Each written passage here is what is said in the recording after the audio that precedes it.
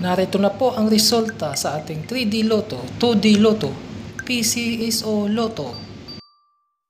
At huwag nyo naman pong kalimutang i-subscribe ang aking channel. Sana all!